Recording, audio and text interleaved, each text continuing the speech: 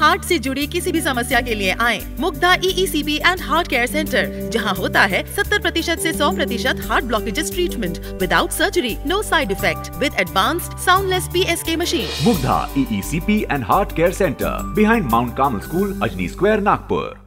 Sonegaon थाने के तहत मिहान खापरी इलाके में मकान मालिक की घरेलू नौकरानी के परिचित व्यक्ति ने ही लाखों के गहनों पर हाथ साफ़ करने का मामला सामने आया है। आरोपी 45 वर्षीय परसोड़ी वर्धा रोड निवासी अंकित दिलीप भोगे बताया जा रहा है।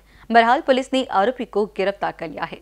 मामले में फरियादी मिहान खापरी निवासी देवेंद्र प्रताप सिंह रॉय है। उनकी पत्नी 1 मई से 3 मई 2024 के दरमियान वर्धा रोड के स्वामी विवेकानंद हॉस्पिटल में भर्ती थी। इस दौरान उनके घर की चाबी, घरेलू काम करने वाली महिला के पास दी गई थी। बारह मई को फरियादी देवेंद्र रॉय को बेडरूम की अलमारी के तीन लाख बाईस हज़ार रूपए कीमत के गहने दिखाई नहीं दिए, जिसके बाद फरियादी ने सोनेगांव पुलिस में शिकायत दर्ज कराई थी।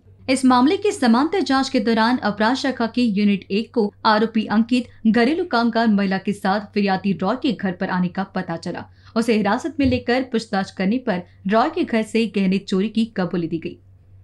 कल पुलिस ने सोनेगांव में अपराध क्रमांक चौरासी ऑब्लिक चौबीस कलम तीन सौ अस्सी अंतर्गत गुना दर्ज किया गया था, जिसमें जो है अपने मूल फिरियादी देवेंद्र रॉय, जो ब्लूमडल कॉलोनी बिहार में रहते हैं, उनके यहाँ से लगभग एक चालीस ग्राम का मंगलसूत्र, एक पाँच ग्राम की अंगठी, एक पंद्रह ग्राम का चैन सोने का, और लगभग तीस ग्राम की चार चूड़ियाँ।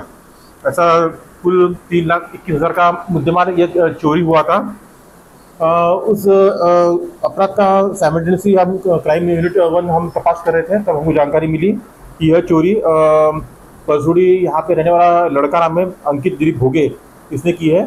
तब हमने उसको ट्रैक करके उसको हिरासत में लिए और उसको पूछताछ करने पर उसने कबूल किया कि उनके यहाँ पर उसने चोरी की है और उसने चुरा हुए अपने पूरे उसने जेवर हस्तगत कर लिए है और पूरी कार्रवाई के लिए हमने उसको राणा अ, सोनेगांव पुलिस को हैंड ओवर कर दिया है। आरोपी का पूरा नाम अंकित दिलीप भोगे है। ये प्रॉपर बेला का रहने वाला है लेकिन पिछले कुछ दिनों से परसोड़ी में रहता है। अ, इसका फ़िलहाल तो बैकग्राउंड अभी हमको मिला नहीं है लेकिन आगे की तफ्तीश जारी है। इस पूरे कार्रवाई में हमारे टीम के एपीआई भोंडे हेड कांस्टेबल बहुत हाउस और एनपीसी मनोज टेकाम सुशांत सोलंके अ, शरद सांभारे ऐसे शामिल थे।